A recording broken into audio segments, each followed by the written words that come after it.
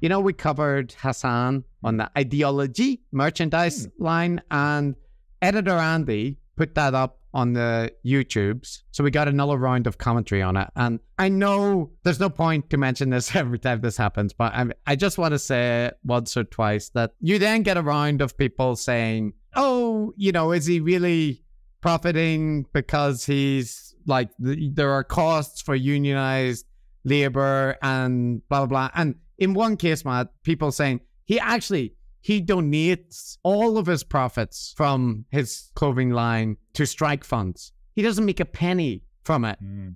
Mm. You idiots! Did you not do your research? Do you not understand? You know, we we had the usual thing where the people simply repeat the thing about the guy popping out of the well. That's the main response. It's just like yes. You don't understand socialism. You don't understand socialism. right. He's just that's right. Yeah, you have to. He's participating in capitalism in order to undermine it. It takes time, and you have to really participate. You have to get into capitalism, and it's like you need the sports cars, you need the mansion, you need the fashion label. All of this uh, it, he's playing the long game. We, we get it. We get it. To defeat consumerist culture, you must first become consumerist culture. That's the thing. It's, uh, you know, Sun Tzu, it, know your enemy by first becoming your enemy. So, so that that's the main one. It's fine. It's totally fine to, to, to be doing all this, and it is fine, right? We're just saying it's inconsistent with being a as a, yeah. a communist revolutionary. That's all. But but the second the second line of defense yeah. is Chris. So the a, a more rare defense for Hasan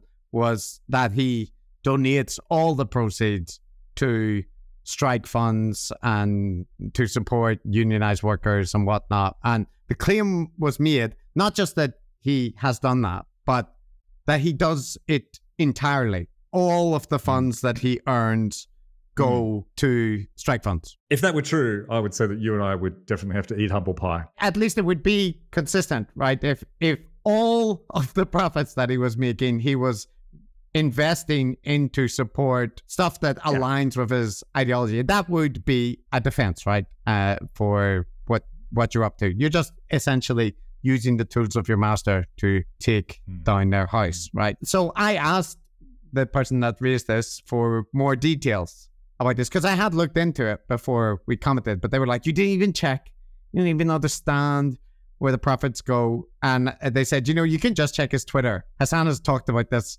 a lot. So I did check Hasan's Twitter, and all I could find was reference to him donating around hundred thousand or thousand dollars to strike funds. Now that sounds like a lot, but I also find articles mentioning that.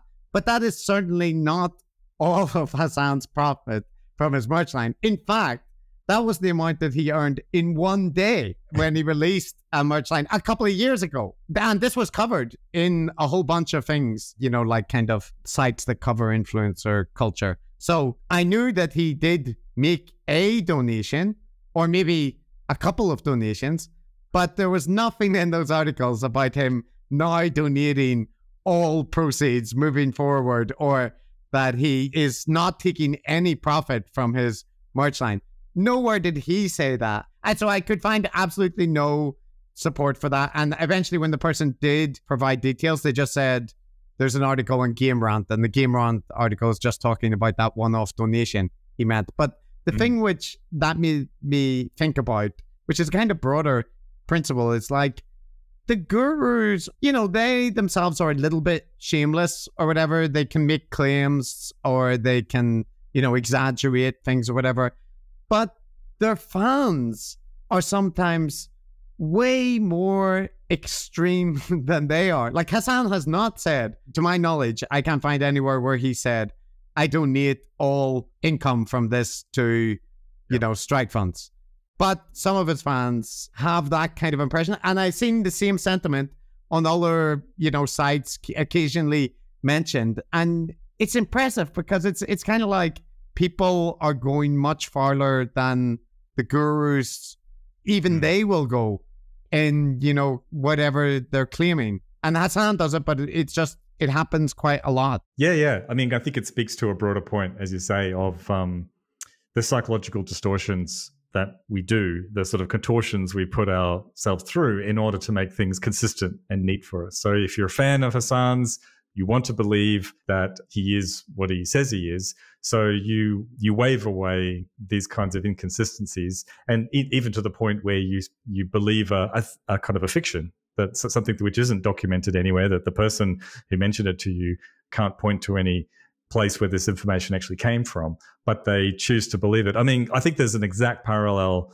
with what seems to me like this incredibly naive trust amongst the you know fans of Jordan Peterson or Bret Weinstein or whatever Andrew Tate, you name it, which is that they will say that oh no, these people are just wanting to help us. He's yeah. Jordan Peterson just cares deeply about young people. He's not in it for himself. He doesn't care about the fame or the money or any of those things. He's on a he's on a mission to make the world better, and his fans truly believe that, and um, and it's true of pretty much all of our gurus, and um, it seems to an outsider to be an incredibly naive interpretation yeah. of some of his motivations. And so it should be no surprise that you see it with Hasan Piker's fans as well. Because it, it, came up as well when we were covering Andrew Huberman like a couple of months back. Because remember when we covered him, we made the point that there's a lot of ambiguity about donations, right? Because his podcast was called the Huberman Lab and his lab at Stanford was called the Huberman Lab. But he was like, but these are separate and you can donate to the Huberman Lab or you can join membership at the Huberman Lab. But it's like they're all branded very similarly. And some of the proceeds from donations will be used to support like research. It's not quite clear.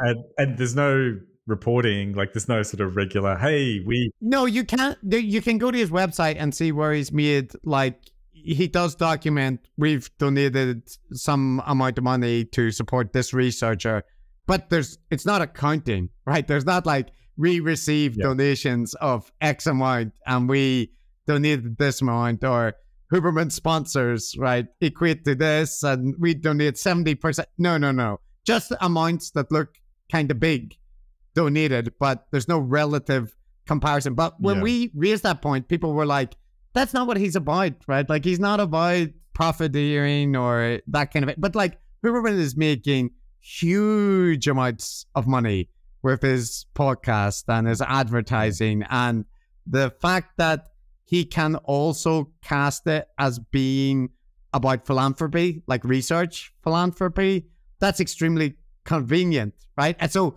yes, he will support research, but uh, what proportion of the amount yep. goes towards that or yeah to all the sweet summer children who don't understand how the world works let me let me explain there are companies like for instance shell that will spend quite a bit of money on very nice advertisements that that feature children smelling flowers and grassy fields and they do that for a reason. And in those advertisements, they'll probably talk about some genuine donations that they've made to sustainable energy or clean water or things like that. And they're real donations. It's real money. And if they, they print the numbers, they may look like large numbers. But this is an exercise. This is a tiny proportion. The gambling industry in Australia, a big part of its legitimacy is, is that they take, Chris, some of these mm. profits and they give them back to the community. They, they support local sports teams they they, mm. they have like like prizes and funds and things set up for young people.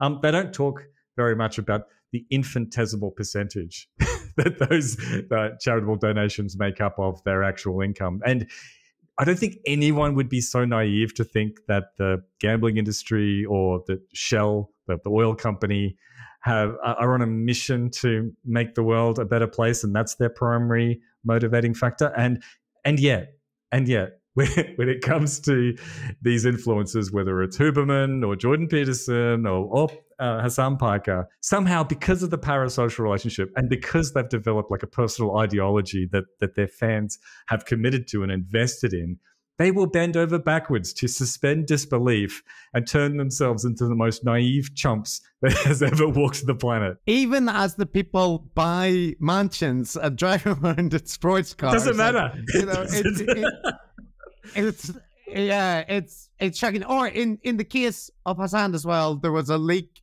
just talking about you know the amount that he earns from Twitch, and it was a lot. And that is not including all the other stuff that he's getting, right? So, yeah, but people are hmm. just like, it, there were various various comments like people saying, you know, he's just trying to be sustainable. I think he's sustainable already. I think he'll get by.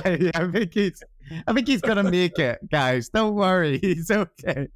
So yeah, it's kind of remarkable the level of faith that people have. Not not cynical souls, these people. At least not about very select individuals, at least. Mm. That's mm. a way to put it. Yes very, very, very cynical when it comes to those other guys, but not our, not our favorite. But those guys, guys are bad guys, though, so that stands stands the reason.